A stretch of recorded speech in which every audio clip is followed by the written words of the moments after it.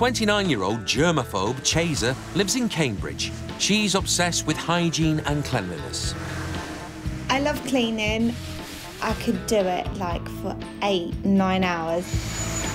The floor needs to be spotless. In total, retail manager Chaser spends four months of each year just cleaning. I love it to look perfect, polished, sparkling. The bathroom just bleach, gleaming, you know, I absolutely love that. I have been known to come home from a night out and hoover. Chaser is so afraid of bacteria that she goes to extremes to ensure everything remains germ-free, including herself and her kids. I have been known to try something on, put it in the wash, and the girls will wear like new pyjamas every single night, like without fail. My neighbours used to go, Are you running a laundrette in there? Because I used to have so much clothes out all the time. Like many germaphobes, Chaser feels a compulsion to repeatedly wash her hands. I spend half my life washing my hands. In fact, Chaser washes her hands up to 60 times a day. When I leave the house, I wash my hands. When I get home, I wash my hands. Gotta wash your hands again. It is a pain in my life, I just can't help it. Chaser's obsession with germs began after a bout of serious illness. When I was pregnant, I caught meningitis, and I could have lost my child because of like bacteria or a virus. So I became especially clean after that. Chaser's going to take four days away from her perfectly clean and germ-free home to help someone she's never met before.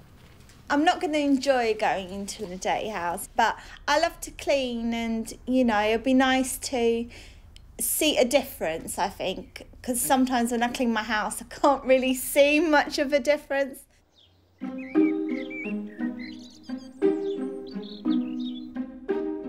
Chaser's going to be helping 39-year-old nature-loving pagan Amanda, who lives alone in a two-bedroom flat in Oxfordshire. Her home hasn't had a proper clean in over 12 years. I know I have spiders because I have spider webs. I heard a bit of folklore about spiders protecting the house. If you leave the house and you, are, you can ask the spider to protect your house while you're away, um, which I thought was a lovely idea. Witchcraft enthusiast Amanda prefers studying nature to studying the state of her oven. I would rather get out and about than spend all day cleaning and tidying. Do I really have to show you my oven? It is supposed to be self-cleaning. Amanda grew up in a clean and totally clutter-free home. In the 12 years she's lived alone, she's accumulated a vast amount of belongings. I love nature and I love bringing nature in. I like to pick up a lucky stone or some uh, sticks and twigs I could carve. I could make tent pegs or, or wands. But whilst Amanda's happy with her hoard, her friends and family certainly aren't. My sister told me that I live like a pig in.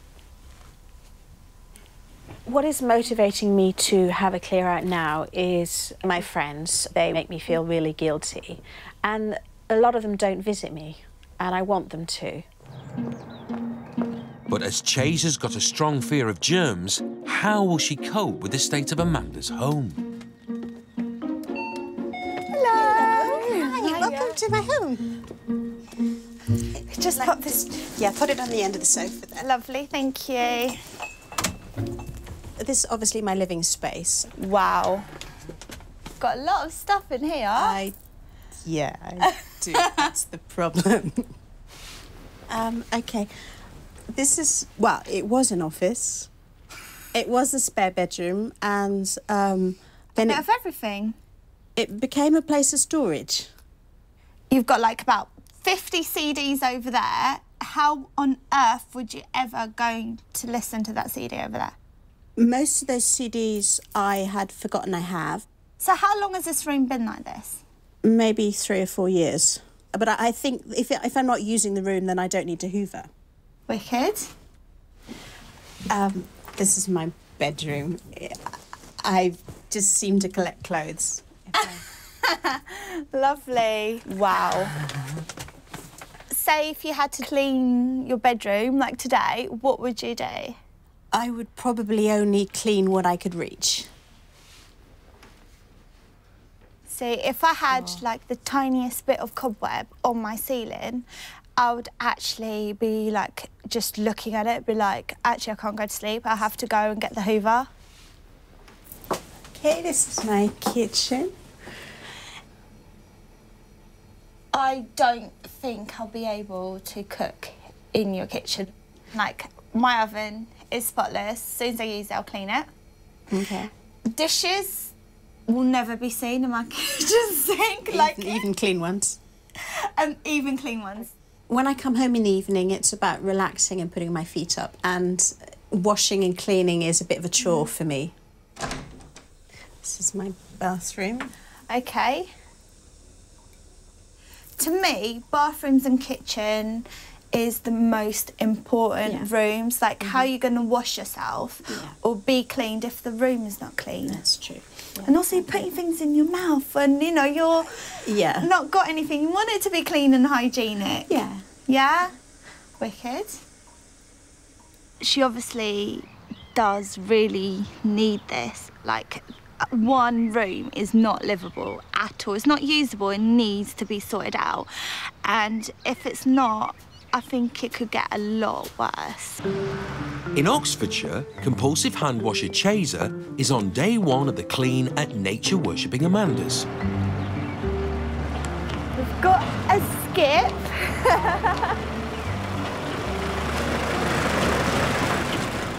it's not that big, it's not that scary. it's not. We'll be fine. With four rooms to sort out, she's chosen to start the clean in the room she thinks is the easiest to tackle the bathroom. I think that we could make a big difference in there. So you think we should do that first, then? That sound like a plan? But before they can start cleaning, they need to clear out the hundreds of beauty products Amanda has accumulated. I thought I had a lot of products.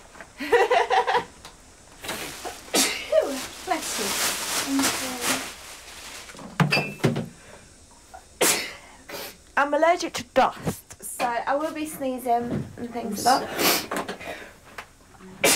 Bless Have some toilet paper. Do you see, like, all this stuff you're holding, how someone like me, it can affect? Imagine what it could be doing to you. I think I've developed an immunity to it, so I'm okay with it, which is why I'm comfortable and I'm not making any changes. I do find it surprising that somebody has such a reaction to the dust and the mould, etc.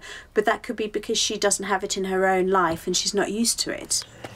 I just want to get it all done and cleaned, but I'm just finding it um, hard to breathe. Like, it's just so stuffy and so much dust, and I am allergic to dust, but I don't think I've ever been in an environment that has hit me so hard. Amanda asked for help to clean up her home because her friends aren't comfortable visiting her. Is there anything you'd rather be doing, Amanda? Anything but this? I'd rather be with my friends than clearing my house, which is my space, and I didn't mind it being like this. You didn't mind it? Well, if I minded, I'd have done something about it. So why did you ask for help? Because obviously I need it. People are telling me that I can't look after myself. People are telling me But that I don't live you a... mind? Well, no, because I would quite happily live like this. Um, I mean, in terms of dirt, obviously I'm aware of, of clutter and needing to get rid of a lot of stuff. But I, I you know, I, it's my space. I don't mind a cobweb or a dirt or, I mean... I'm doing this like for you to help you, you know, to make this a better environment for you. But if you don't mind it, then Well, it kind of makes me you- lose heart and makes me think, are you just going to let it go back? I don't know.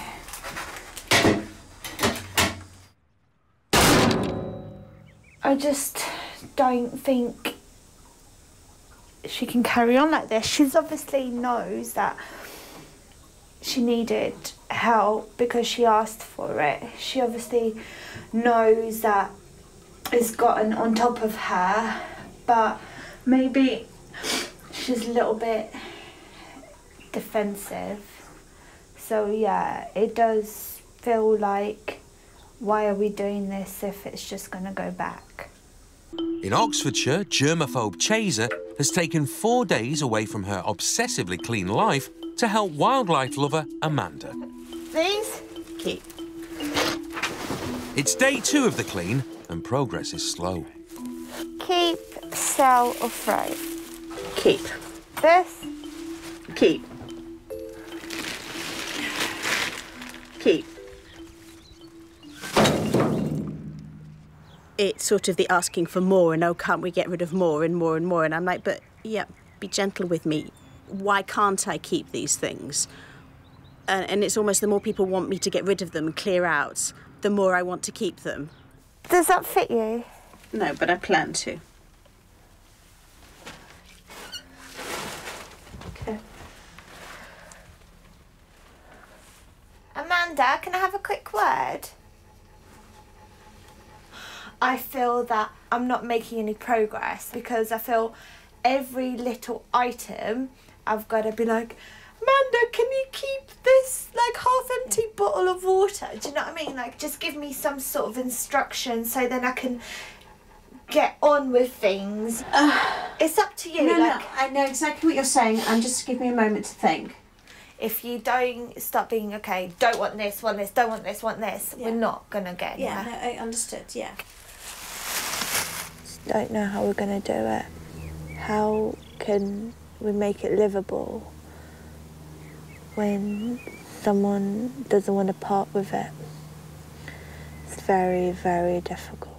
It's the final day of the clean in Oxfordshire, and having met with resistance whilst trying to clean up the bathroom and kitchen, germ-phobic Chaser has moved on to Amanda's messy living room. Do you want to keep all the plants? I know it looks dead, but the ends are alive. So, I mean, if you can detangle it. Mm-hmm. I know you said you want to keep this chair, but we've just discovered. It doesn't have a seat. Yeah. Yes? Still want to keep it? Yes. Okay. And you said this plant can go. No, not that one. Oh. Okay. These things are not going anywhere, okay? I want to keep these things, and I've already been through this room. Okay. I don't think I'm doing anything. I can do anything, so it's not I a lot thought, point. I thought you were going to clean the windowsill for me to put things on. I'm just getting really upset now. I'm really frustrated because what is the point? I don't know, to clean someone, voluntarily help clean someone's house, and then they won't let me.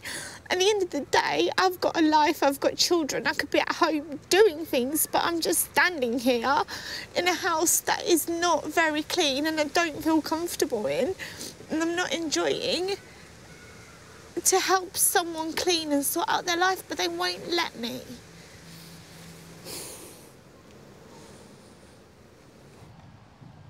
I feel really, really bad because I just feel that I haven't come in here made as much of a difference that I wanted to. Like I thought I was literally going to go into a house and clean it, blitz it, do what I do best, and I do think like I've been like compromising. I'm not doing. You, you haven't been able to do what you would feel Yeah. instinctive to do. Yeah, yeah. But you've done as much as you can. We're two instinctively different people, and we can't be Yeah. the same person, and we're too extreme. Yeah, that's what to I'm trying to, to, to flip yeah. over. If yeah. anything, we're going to find a middle ground. We're not. I'm not going to be on the more clean side.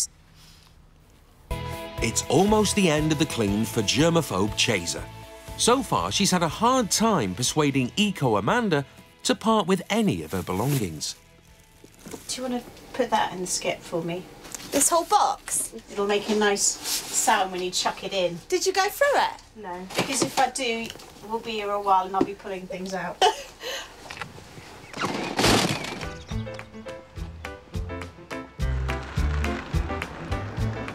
Amanda's friend Colette has previously felt uncomfortable visiting the flat. Four days ago, the living room was dirty, cluttered, and unloved, and the dining table was invisible beneath mountains of rubbish. Hello. Come in. Oh, you're looking gorgeous. How are you doing? Wow. Are you I've never shocked? been able to walk to your table. This is fantastic. I feel like crying actually. oh, well done, you. 15 sacks of unused clothes have gone from the bedroom, revealing the floor and furniture. With 20 box loads removed from the spare room, it's possible to get inside for the first time in over three years. The bathroom is now a clean and clear space which Amanda can enjoy. And the kitchen is up to germaphobe Chaser's exacting standards. The surfaces are all done. And the washing up's done. I know.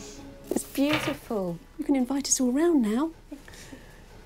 Tasteful progress, and hopefully you won't get to that stage again. Not going to get to that Cheers. stage again. Cheers. Cheers. It's all been a bit mad and intense, but I like it. Thank you so much, honey. Thank you. I've had a lovely You're amazing. time. You're amazing. At times, I didn't think we were going to make it. I felt like I was hitting a brick wall, but we did it. She, she can use every single room of her house. She's got a house that a lot of people would consider normal. It may not be my ideal, but it's clean and it's livable. And for a person that does worry about cleanliness and germs, I think I did pretty good.